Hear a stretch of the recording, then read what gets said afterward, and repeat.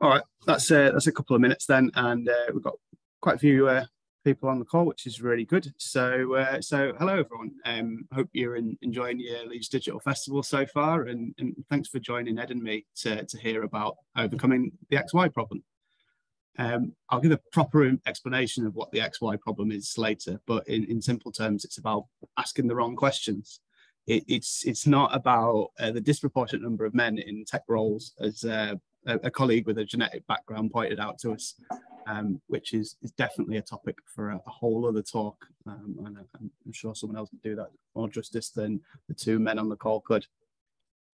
Um, so we'll, we'll, get straight into it then. But uh, before we do, uh, we've got um, a Slido set of questions. So please head to slido.com in your browser and um, enter the code XYQ or scan the QR code on the screen um, and, and please just drop us some questions in there uh, that we can kind of go through at, at the end. I'll leave this code up for, for a little bit longer, but the link is in the top right of the slides as well if you just want to if you want to grab that. Uh, we'll come back to questions uh, at the end of the talk. If any of the questions are XY problems, then we'll try to answer them, but we, we might not be able to. So we'll give it a go. Um, yeah, without further ado then, quick introductions before we start. Um, I'm Chris. I'm a principal architect at Answer. Uh, before being an architect, I've been an engineering manager and an engineer in, agile teams, and I've seen this problem manifest uh, a number of times. Uh, in the past, I've also been quite active on Stack Overflow, um, and you see the problem quite often there as well.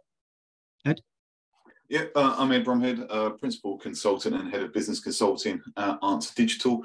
Uh, my background's mainly finance and wealth management. Started as a business, analyst, uh, business analyst uh, at Norwich Union, as it was then, and then, then into Aviva. Uh, and since then, I've moved across and worked for several different organisations, mainly on large-scale wealth management platform migrations. Thanks, Ed just to frame the talk a little bit then so we'll explain a little bit more detail what the xy problem is give uh, give a few examples some some war stories that we've we've had in the past. And um, we, will talk a little bit about how this will impact people and projects that they're working on uh, and then ed will discuss some some simple analysis techniques to to kind of to work on that before sharing how educating people really helps to prevent it happening in in future. Okay let's start with a quick overview of what the XY problem is to start with. It's basically where someone asks about their, their attempted solution rather than about their real problem.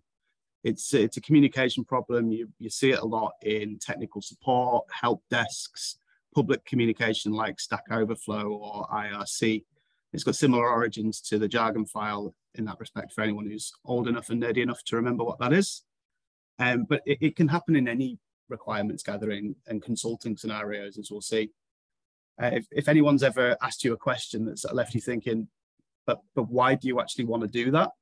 Uh, that's the sort of thing that you'll kind of you've seen it before. It it occurs when someone essentially tries to solve a problem on their own without really discussing their train of thought with with with other people, and it obscures real issues and it can even introduce more problems. So looking at it in detail, then First, the, the user wants to do a thing, X, but, but they're not really sure how to go about it. And they kind of believe that they can fumble their way to some sort of solution if they can only manage to do Y, which would be great if, but they don't have a clue how to do Y either. So, so they go and ask for help. So that help could be like a support ticket, could be on a help forum, uh, or it could just be asking someone in the team crucially, when they do this, they only ask about Y, they don't mention X at all. So other people try to, to help them out with Y, but really confused because Y seems like a strange problem to want to solve. And after much interaction and wasted time, finally becomes clear that they wanted to do X in the first place. So, so how do we, we get here? It's, um, it's an example of the, stuck, stu uh, the sunk cost fallacy, really it's uh, you know people getting this their train of thought stuck on this one approach and they've put increased value in this uh, this dead end because they've forgotten the importance of uh, of trial and error when solving problems but perhaps they've also forgotten the importance of more collaborative ways of working which which really does make it easier to catch these sort of problems early on and in reality the the method that they got stuck with their Y might even be the most convoluted or complicated way to do things. And that's probably why they got stuck. So let's just have a look at a few examples. This is, uh, if you go to like look at XY problem on, on the internet, this is the, an early and often used example. This was from an IRC chat. Someone was asking for help with a, with a bash script. And the asker's got a problem to solve and has jumped straight into an assumption about the way to solve it. They said they want the last three characters of file name. Why might why might you want that?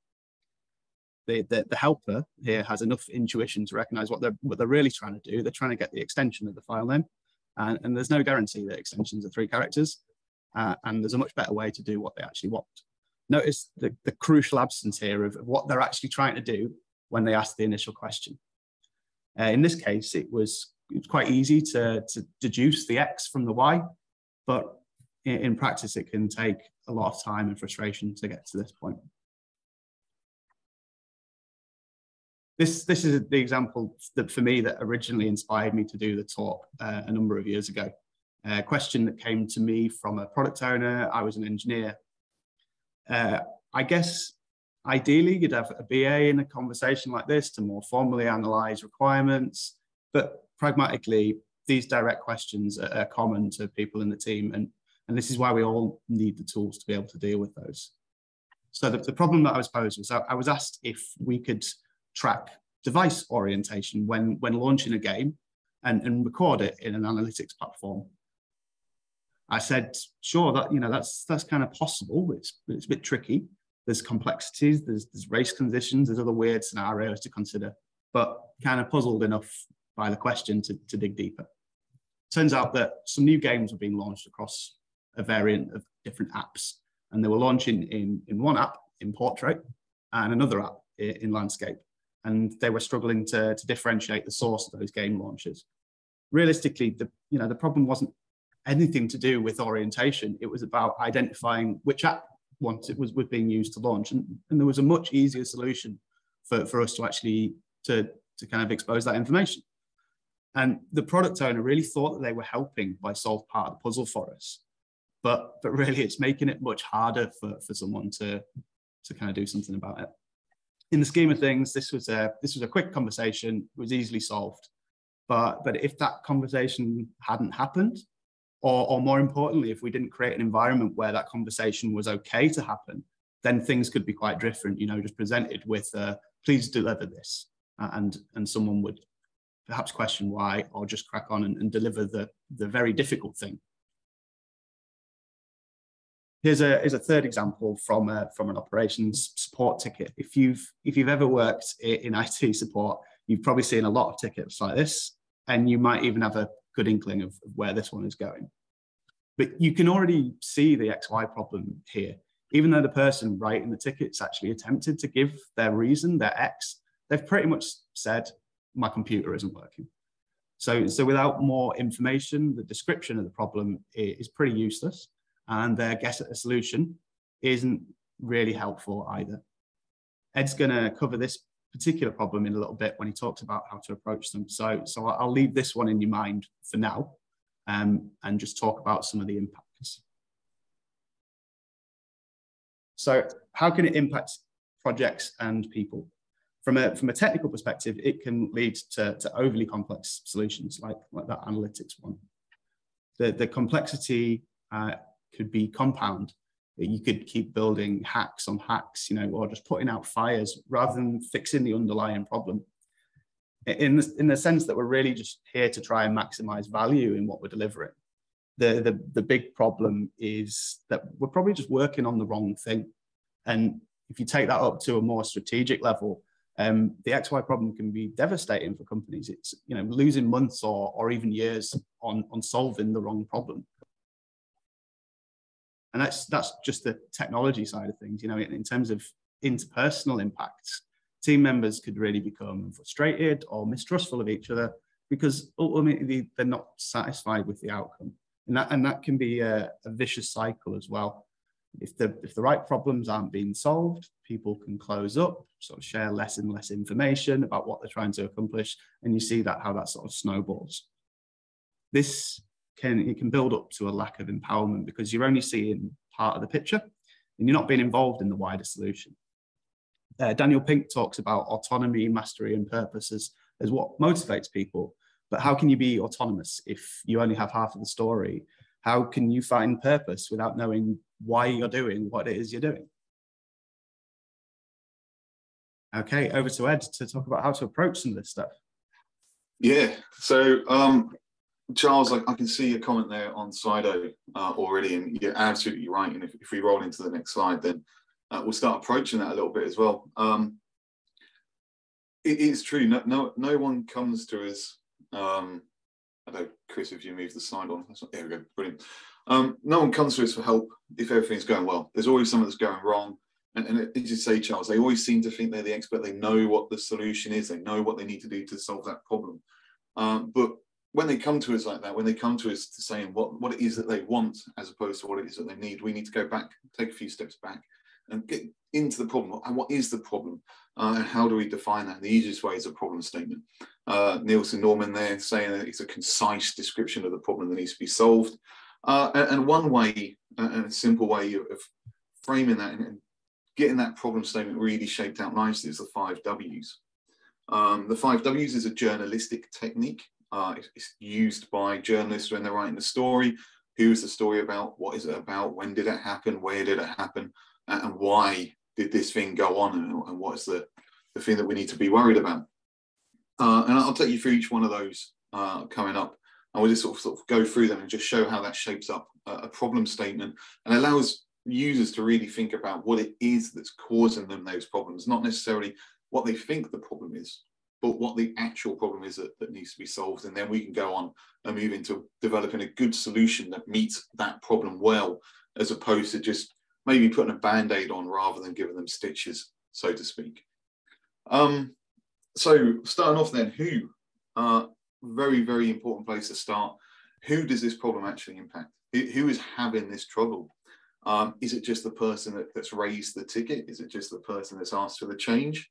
Uh, are there other users in the same team using the same system, having the same problem? Are there different user groups? Do they all work in the same building? And we'll get into that a little bit later in the where as well. But um, the, the who, the user groups that this impacts, does shed a light on one, who do you need to also go and talk to?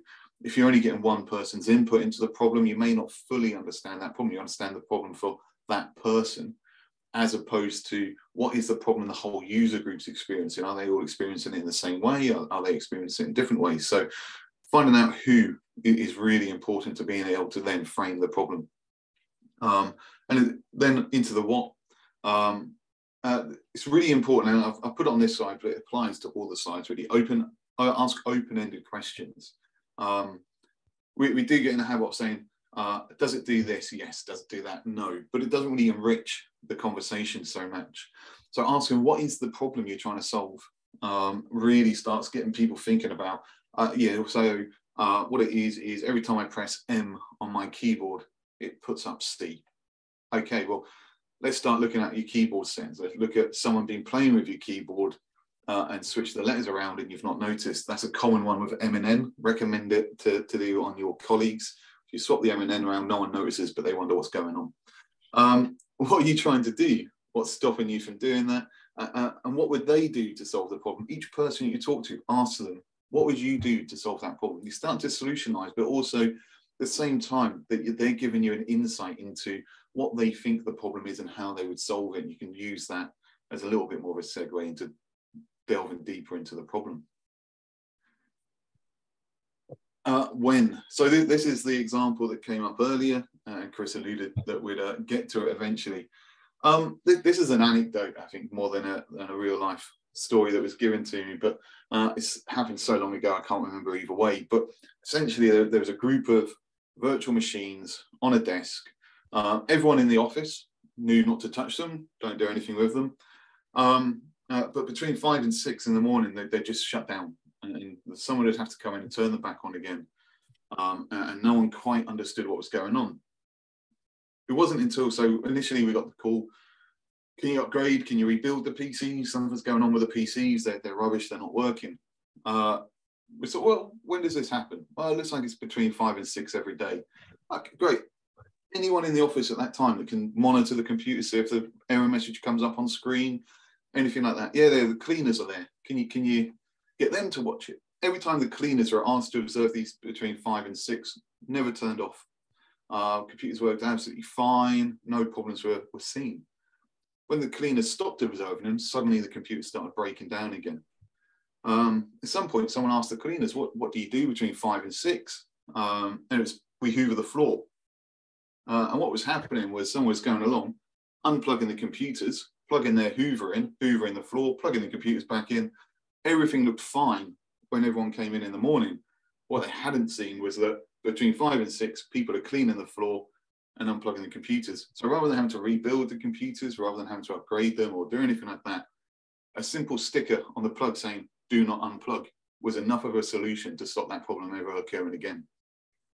So understanding the when uh, is really important. If it only happens during a specific time frame, what else is happening during that time frame? Who else is there?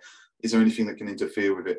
Uh, can really help you get down to that, that cause of the problem as well. Touched a little bit on where already early on, is it in the same building? Uh, but understanding the locality of the problem uh, can really shed further light on it as well. Uh, does it happen in a single location? Is it a single desk? Is it a single floor in the building? Could it be something down to networking, routing, all of that side of stuff? Is it regionality or cultural differences? Uh, and is the problem only between certain locations? And that's a problem that I've, I've encountered myself. Um, between two locations, I, I joined Aviva uh, when I was quite a few years ago. Um, and at the time, Aviva had just begun their, their IT outsourcing. They, they brought in a Indian outsourcer, and we were moving off testing and development to offshore locations in India. Uh, and as requirements providers, as BAs, we'd sit down with the testers and we'd just go, Are you happy with these? Do you understand them? And the answer always came back is yes. But when it came to testing, uh, we are finding the tests weren't perhaps being performed correctly, scenarios were being missed, uh, and there, there, was a problem there. They, they, were saying yes up front, um, but then we are getting poor output in the test perspective. Uh, and where, what we discovered was actually at the time there's a big cultural difference between how we worked in the UK uh, and, and, how people in India worked, where they would just say yes. Um, they, they wouldn't necessarily be open to challenging people who they saw as being in positions of authority, like we were, because we were the customer, so you didn't challenge the customer.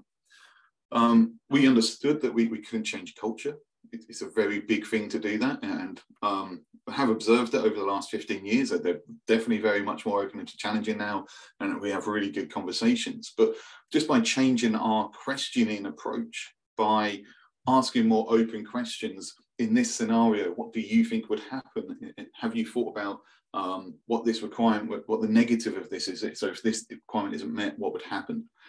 By, by changing that and asking them to explain back to us what that requirement was, what that scenario was, we got really better output in the testing position. So understanding those cultural differences that can really generate a problem without knowing um, is a big, big part sometimes of actually solving the problem where it's between two different locations or, or two different regions.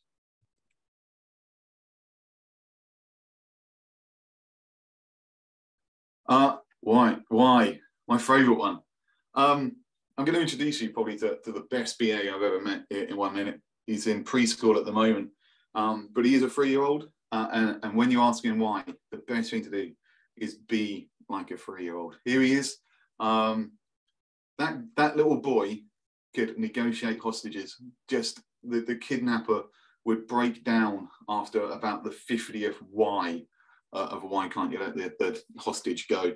Um, but re realistically, there's a very simple technique. Uh, every BA uses it. It's probably the first one every BA is taught. Uh, I was taught it on my first day by, by my mentor, and he said to me, if people come to me and complain that you're asking why too much, you're doing your job properly. Uh, and it's a simple technique just called the five whys. Step one, you, you ask why. Uh, what, why do you need this? Why do you want that? Uh, and whatever the response is, step two is you ask why. Uh, and then, then you just keep delving down. Step three, why? Uh, step four, why? Uh, and step five, why? And I have to say, over the last year, I've realised how incredibly annoying BAs are when they keep asking why. Um, but that that is it, really. The, the most simplest of techniques uh, will get you really down to the crux uh, of the issue. Um, people will start thinking about actually, yeah, is it that? Is there something else? Um, You don't have to ask it five times. You can ask it more times if, if you feel like you still not quite nailed it down. Um, and you can ask it fewer times if the person you're asking the question to becomes violent. Um, uh, I can't see anyone, I can't hear anyone, but I'm hoping everyone's laughing hard. Um, uh, but that's that's really it. Um, and provided you've sort of gone through that, you've you looked at the five W's, you feel you're, you're comfortable on that, um, you then can sort of start to say, well, have I found the problem? How do you know that you've got to the root cause? Uh, one of the easiest ways is, is that, that problem is recognizable. If you say to the users, do you have this problem? And you frame the problem back to them and they go, oh yeah, yeah, 100% we have that problem. You know you got to the root cause of the problem. You know you got to it as well when it's one problem at a time. You can have a solution that solves multiple problems, but you can't have a problem multiple problems kind of just in one statement, it's hard to manage. It's hard to then be able to test against and say, have we met all of these if it's just one problem statement, which is contained in multiple problems. And it's clear and concise. Uh, it doesn't need to go on for days. It doesn't need to be sort of several paragraphs or several pages. A clear one line sentence that just frames the problem really well. Um, and, and you can answer those five W's. Who does it affect? What is the problem? When does it happen? if, if all the time it's only during this time, where does it occur uh, and why does the problem occur? Um, if you can't answer those, then you know you've clearly identified the problem and you can begin working with users and architects and developers to define the best solution to, to meet that problem. All right. Thanks very much for that, Ed. Uh, so I, I, just want to sum up then uh, we've we've shown some some XY problems. We've uh, seen some impacts of them, and Ed's talked uh, about some good analysis techniques we can use to, to to deal with that when we do see it happen. But but really, we want we want to avoid it altogether. Uh, and and how could we how can we go about that?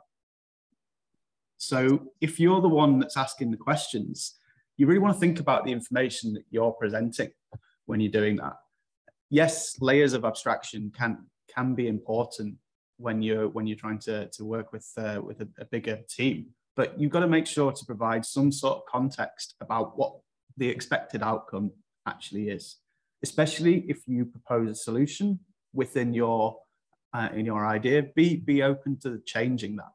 A critical part of teamwork is really understanding that sometimes we don't make the best decisions on our own, and that is okay on the other side, then, if if you're the one that's actually giving help, go the extra mile. Really, don't just answer a question. Help to solve the problem, and you can do this by asking the questions and really getting to the bottom of the issue, uh, as Ed's talked about. Um, and what I'll say just finally is that these things are possible in any environment, but they're much simpler by comparison in an environment that that encourages the behavior to ask these sort of things. So as a consultancy, Answer talked about being an outcomes-based business. And what does that mean? You know, but really behind all of that is a huge amount of effort in fostering trust, transparency, emotional intelligence, and those things are hugely important to, to making questions easier to ask uh, and easier to, to challenge and discuss. And, and, when you're working on these things together, ultimately it does make the, the whole process go a lot smoother. So, uh, so I hope those uh, hope those are good ideas for you to be able to think about avoiding these sort of things and dealing with them when you do see them. But really do make the environment safe for those things to happen in the first place. Okay, um, we'll we'll go into questions in a little bit, but just uh, just for a second, I want to talk, uh, take a minute and talk about Action for Children. It's a charity that we work quite closely with the Answer. A number of people will be partaking in the Boycott Your Bed Challenge in a couple of weeks. So sleeping out in the streets of Leeds in, in the cold, hopefully not the rain, but you know we can't control that sort of thing. Um, so yeah, really wanting to raise money for an awareness for a wonderful cause. So so please do take the, the moment to to donate if you uh, if you can do that the QR code on the bottom there, and you say every every forty quid we can uh, pay for gas and electricity for a family for a week. So uh, so it's it's a really good cause, and we've been really close to it over the number of years. I know people have done this in the past. Ed, you've been roped into it this year. Uh, no, unfortunately, I always seem to have something on that weekend. So um, yeah, I've not not done it yet, but one year I will get around to doing it. Okay, I'm, I'm just want to go into questions. Uh, there's a uh, the Slido link is still there as well.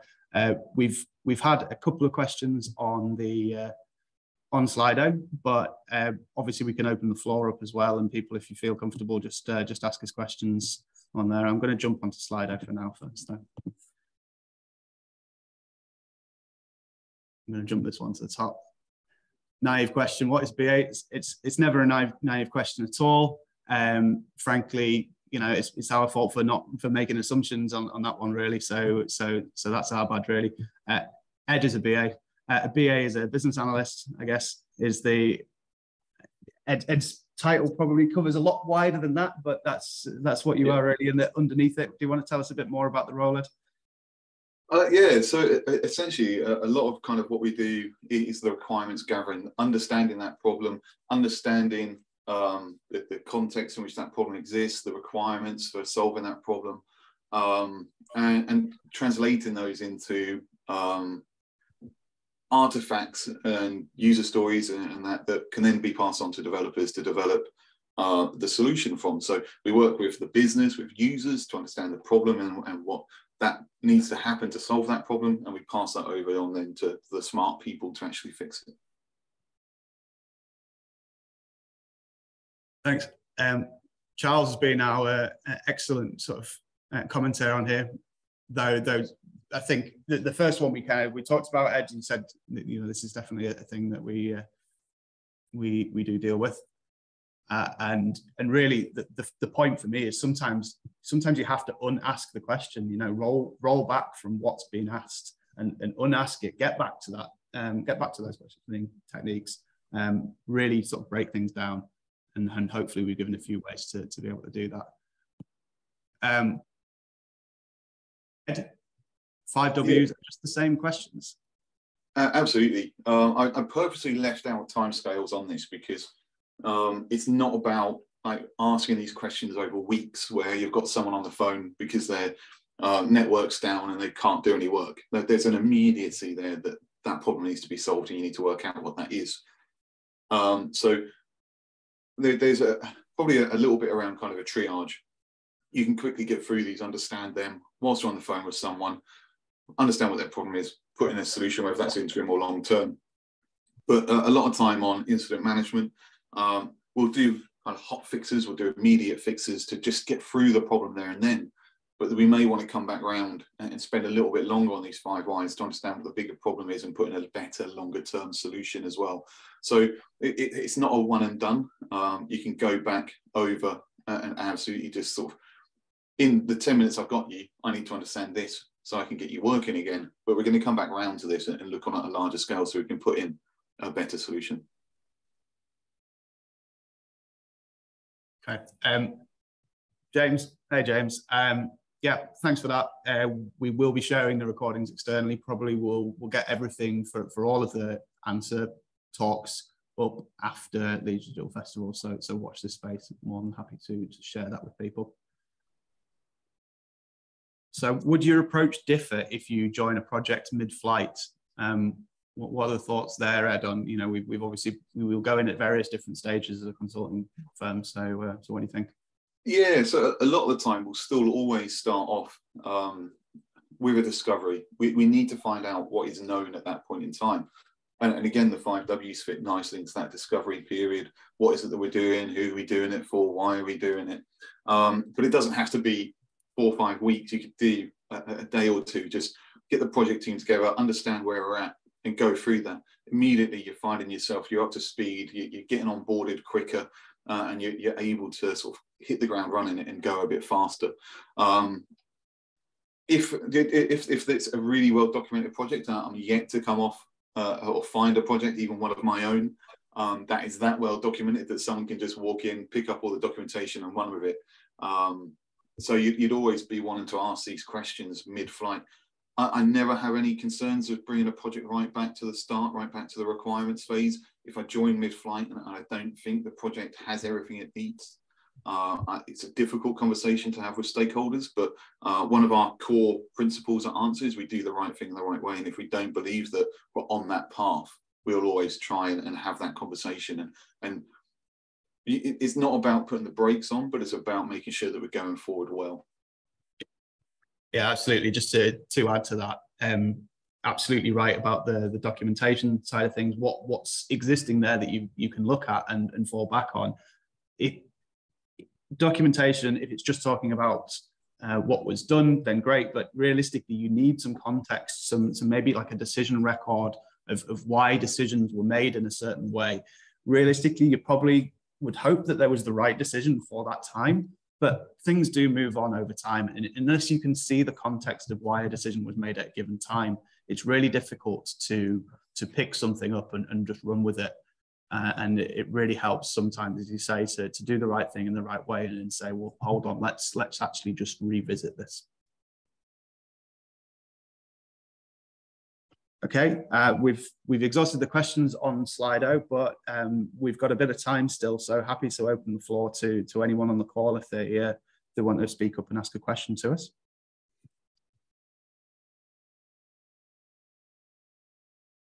I can see just in the chat actually there's one from Martin. Martin. Hi, um, sorry, just um, with the whys, obviously that's uh, you'll have found it with with your toddler there. It can be a bit abrasive, can't it? Um, and and a little bit forward. So, how would you go about kind of opening somebody up, uh, or somebody who is kind of a little bit closed when you start? How would you then kind of elevate that a little bit to do that?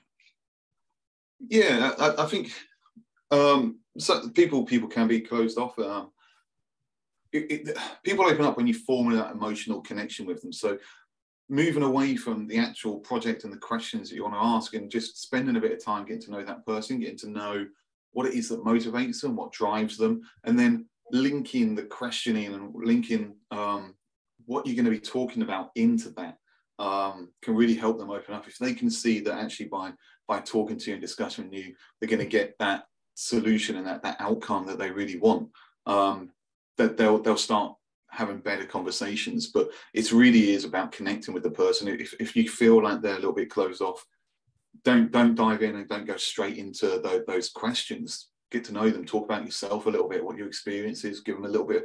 Let them build trust in you. Essentially, that that you're going to listen to them and react to them. Brilliant. Thank you for that, Ed.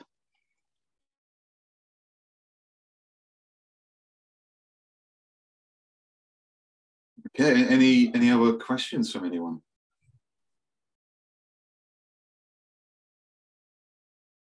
All good.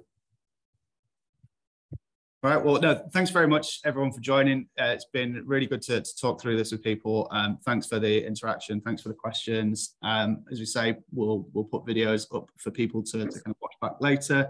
Um, hope you enjoyed it. Uh, hope you enjoy the rest of your Leeds Digital Festival, uh, the rest of your day. Have a great one and thanks again. See you soon. Thanks all.